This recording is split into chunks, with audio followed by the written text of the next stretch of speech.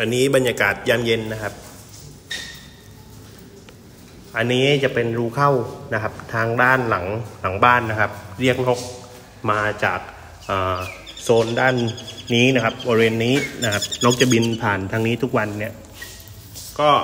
จะเปิดอยู่ 2 จุดนะครับ อันนี้เป็นจุดหลังบ้านนะครับจุดหลังบ้านแล้วก็จะมีจุด Open Loop นะครับ ก็คือด้านนี้นะครับนี่ สวยงามนะครับ Open Loop เปิดหลังคาปุ๊บน้ำตกลงมาในอ่างนะครับ ตัวนี้เป็นอ่างน้ำนะครับ มีท่อน้ำทิ้งเรียบร้อยนะครับ นก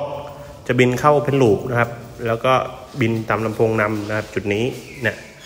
ลงไปนะครับ นี่ตรงนี้นะครับ นกจะบินเพื่อจะเข้าชั้นสามนะครับ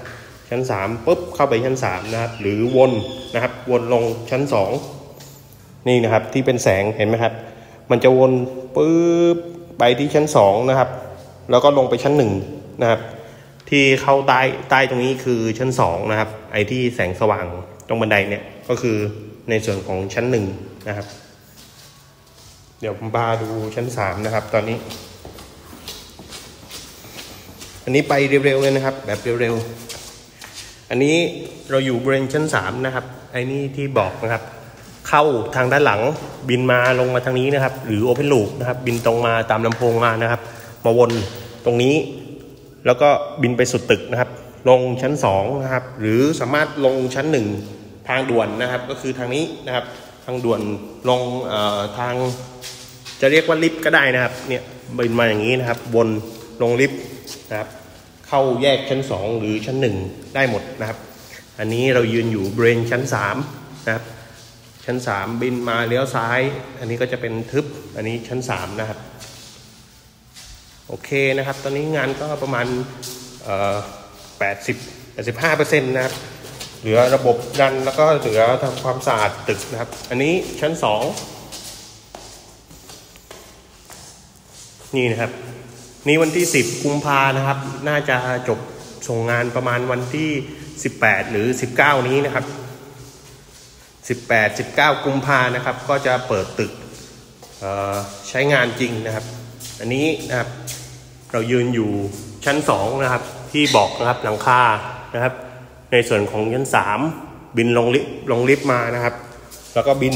ลงชั้น 1 นะครับ ตรงนี้ชั้น 1 นะครับนี่นี่ส่วนของชั้นหนึ่งปึ๊บ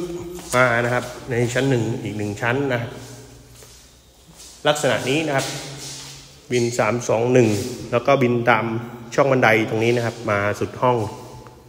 หน้าตาก็อยู่ประมาณนี้นะครับ เดี๋ยวผมพาดู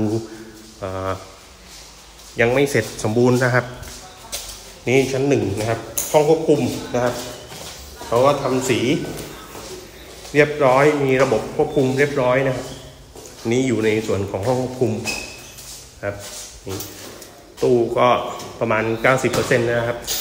เออประมาณ 85%นั่นนะครับ เรื่องตู้ก็เหลือในห้องนี้ก็เหลือเก็บงานครับรายละเอียด เหมือนเดิมนะครับ เครื่องกรองน้ำปั๊มน้ำปั๊มอัตโนมัตินะครับเรียบร้อย นี่นะครับ อันนี้จะเป็นห้องนอนนะครับ มีห้องนอนหนึ่งห้องนอนนะครับ แล้วก็หนึ่งห้องน้ำนะครับ นี่ลักษณะนี้นะครับ เดี๋ยวผมให้ดูภายนอกนะครับ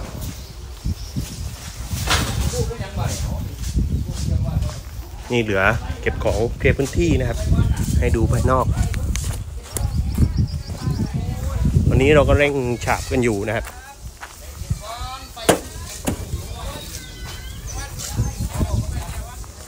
ลักษณะนี้นะครับ นี่ ชั้นหนึ่งชั้นสองชั้นสามชั้นสี่ชั้นห้านะครับห้าชั้นนะครับ ห้องควบคุมนะครับ ห้องนอนหนึ่งห้องนอนหนึ่งห้องน้ำห้องควบคุมนะครับ หอนกอยู่ด้านหน้านะครับ ก็ประมาณนี้ครับผม โอเคครับ เดี๋ยวเสร็จเดี๋ยวมาอัปเดตให้ดูอีกทีนะครับสวัสดีครับ